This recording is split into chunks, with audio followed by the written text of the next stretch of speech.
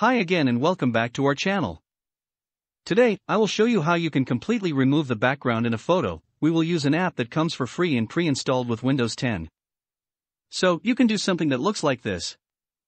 We can completely remove the background from my photo, and now we could do whatever we want with that picture. We could insert it into a Word document or email, or even use it at PowerPoint presentation. Even we can save it as a PNG file and use it wherever I want. Now, let's go to our PC and do this step by step.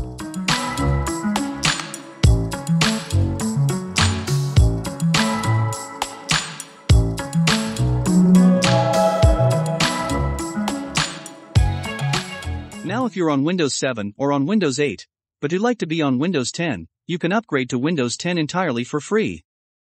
I have a link in the video description if you're interested in doing that. So, let's say I have this photo on my desktop, and I'd like to get rid of this background, I just want to cut out this picture of this kid. An app that comes with Windows 10 will allow us to do this. Now go down to your taskbar, and within the search box, let's type in Paint 3D. Now you'll see Paint 3D show up, let's click on that. This will open up the Paint 3D app.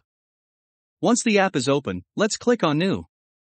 This will start a new project. Now let's take the photo that you want to remove the background from, and then simply drag and drop it into Paint 3D. Here's my photo now in Paint 3D, and I still have the background showing up in here. How do we remove the background? This will be extremely easy. We're going to use something called Magic Select on the top bar here. I'm going to click on Magic Select over here. Next I see a rectangle appear around my photo, and I need to drag the corners around the object that I want to remove from the photo. So, I'm going to go here and I'm going to select just the kid from the photo. Once I've selected the kid, let's click on Next over on the right hand side. Check that out so Paint 3D has identified the kid from the background, although it really hasn't done a perfect job, but it's pretty close. You'll see in the photo that the kid hand and hat is missing. So we are going to click on Add over on the right hand side, and I'm going to zoom in on my photo, and then I'm simply going to drag a line over the kid head here. This will help the Paint 3D to realize that the kid hand should be part of the selection. You'll notice that it's still missing the hat, so once again I'm going to drag a line over the hat, and that's now included both the kid hand and hat. Now zoom out and see if it captured everything else properly. Looking down at the kid trouser, we can see that Paint 3D has picked extra background as a part of the photo. And to remove that we are going to click at remove here. And then I'm going to drag a line over this. And now it'll remove that part of the selection. Now I will zoom out. And overall, this looks pretty good. Notice down below that there's a checkbox that says autofill background. What this means? This means that once we finish cutting the kid photo here, it'll fill in the background automatically. However, if I uncheck this, it will simply leave a cutout or a white background. So, I want to autofill the background, let's now click on Done. I clicked on Done and it still looks similar. So, what's the difference? Well, if I click on the kid photo, I can remove it from that position on the photo, and I could place it anywhere else. In fact, I could expand the photo or reduce the size. Notice the very nice job at filling the kid photo background. No, I can use my image anywhere. I could press Ctrl and C to copy, or I could press Ctrl and X if I want to cut. Similarly, I could right click, and then I could select either of those commands. Now, I'm going to copy for now, and we can use this image anyway else.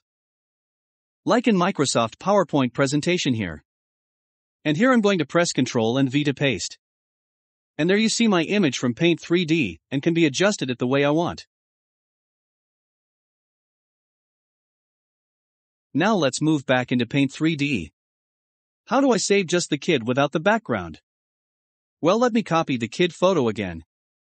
I'm going to go up to menu in the top left hand corner. And click on new. This will ask if I want to save our work. I'm going to click on don't save. I now have a blank canvas, and here I'm going to paste the kid photo. By pressing Ctrl and V, now adjust the size to fill up the canvas. Now we could go up to menu and click on save as. And we can now save it as an image. When we go to save it as an image, we could select the type of file. Now we want to save it as whether it's a PNG, a JPEG, a GIF, or whatever I want to save it as. One very important thing to notice is that we can even set our photo to has a transparent background. So if we want to use this somewhere else, the background will be transparent. Now we can click on save. This will opens the file save dialog. I'm going to give it a name and save it. Now I'm going to click on save here. Now we have a new file for transparent background. If I double click on that you'll see the kid image with the transparent background. It's really amazing what you could do with all those pre-installed apps on Windows 10. I hope you enjoyed this video. If you found this video useful please give this video a thumb up and hit the subscribe button.